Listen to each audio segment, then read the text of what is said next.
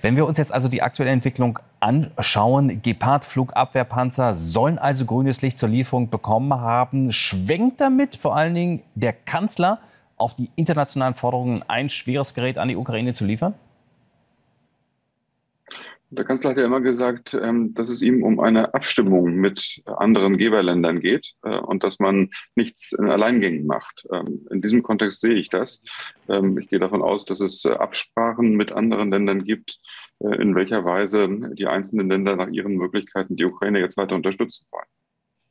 Ist das aber auch ein Signal, dass die Industrie jetzt diese Gepard-Flugabwehrpanzer, in dem Falle Kraus-Maffei, Wegmann zur Verfügung stellt, dass es nicht aus Beständen der Bundeswehr kommt? Das Gleiche ist ja auch, was die 88 Leo 1 Kampfpanzer von Rheinmetall und die 100 Schützenpanzer Marder angeht. Also, dass die Bundeswehr dadurch eigentlich nicht belastet wird, sondern dass im Prinzip altes Gerät geliefert wird. Ja, das ist kein Signal, das ist einfach den Notwendigkeiten geschuldet. Die Bundeswehr hat ja von allem, die Bundeswehr hat sehr viel, äh, aber von allem immer nur wenig. Das heißt, sie kann viel, sie hat viele unterschiedliche Fähigkeiten, aber dafür braucht man eben Waffensysteme und von denen hat sie für jede einzelne Fähigkeit immer nur wenig. Das heißt, wenn sie davon was abgibt, dann ist schnell die ganze Fähigkeit verschwunden. Beispielsweise ähm, ja, ähm, im Bereich der Artillerie, äh, wo äh, die deutsche Artillerie des Heeres mal gerade so etwa über 120 Geschütze verfügt. Davon kann man nicht allzu viel abgeben. Deswegen ist immer klar, wenn Deutschland überhaupt etwas liefern kann, dann muss das über die Industrie laufen. Und ähm, dass man hier äh, relativ schnell verfügbar noch alte Systeme hat, die bei der Industrie noch vorrätig sind, das liegt auch in der Natur der Sache. Da muss man nichts neu bauen. Da kann man einfach die alten Geräte nehmen, die äh, wieder einsatzbereit machen und dann könnte man sie auch liefern.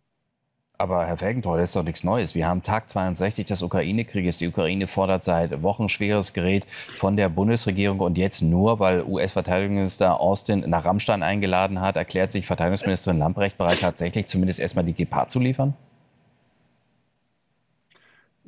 Ich sehe das als Teil eines äh, sich weiterentwickelnden ähm, Diskussionsprozesses auch unter den Geberländern. Es war ja einfach nur folgerichtig und vernünftig, dass äh, in einer ersten Phase, wenn es um die Lieferung schwerer Waffen geht, äh, die alte sowjetische Technik aus NATO-Ländern geliefert wird, die früher einmal Mitglied des Warschauer Pakts waren. Denn äh, das sind äh, Waffensysteme, die sozusagen nahtlos äh, in die äh, Verteidigungsanstrengungen der ukrainischen Streitkräfte einfließen können, weil dafür keine äh, weitere Ausbildung notwendig ist, weil auch keine neue Logistikkette aufgebaut werden muss.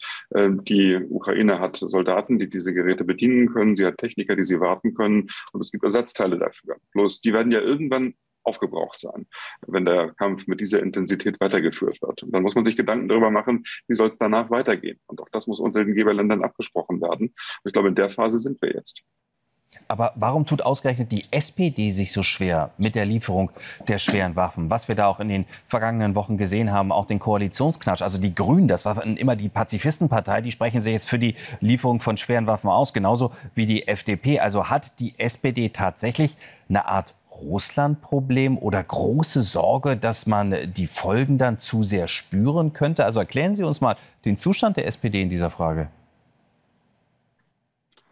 Also ich glaube, dass ähm, Sorge zu haben in dieser Situation ähm, relativ normal und selbstverständlich ist. Ich habe äh, eben Ihren Nachrichten zugehört und Ihrem Kor Korrespondenten in Moskau, dass man das alles sehr ernsthaft abwägt. Das finde ich jetzt einfach nur normal. Und man muss ja die Maßnahmen, die man trifft, auch ableiten äh, aus den Zielen, die man vorher definiert. Ich glaube, dass es richtig ist, was der Bundeskanzler an seiner Pressekonferenz vor einer Woche gesagt hat, dass es darum geht, dass der Angriffskrieg nicht wieder zu einem normalen Mittel der Auseinandersetzung in Europa wird, und das, äh, die Gefahr ist natürlich sehr, sehr groß, wenn dieser Angriffskrieg erfolgreich ist. Das heißt, er darf nicht erfolgreich sein, er muss scheitern. Und dafür muss man der Ukraine helfen. Und das muss abbestimmt erfolgen. Und äh, das ist aber ein komplexer Prozess, der auch seine Zeit braucht. Ich glaube, äh, wir sind da auf dem richtigen Weg. Herr Felgentreu, aber wie ordnen Sie dann zum Beispiel die Äußerungen jetzt des russischen Außenministers Lavrov ein? Unverhohlen wirbt er oder warnt er vor einem dritten Weltkrieg und sogar vor dem Einsatz von atomaren Waffen. Also wie muss man das sehen? Ist es nur Säbelrasseln oder wie ernst muss man das nehmen?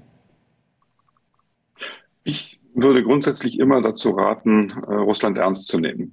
Ich glaube, das war in der Vergangenheit manchmal ein Fehler, wenn man äh, Dinge, die äh, an Drohungen oder an Szenarien aus Moskau gekommen sind, einfach nur als ja, äh, Rhetorik abgetan hat. Äh, davor rate ich ab. Bloß die Frage ist, was für Konsequenzen zieht man daraus? Äh, Russland hat ja von Anfang an, als, der, als, als es diesen Krieg begonnen hat, als die russischen Soldaten äh, in der Ukraine einmarschiert sind, von Anfang an immer auch äh, sozusagen mit der nuklearen Option gedroht.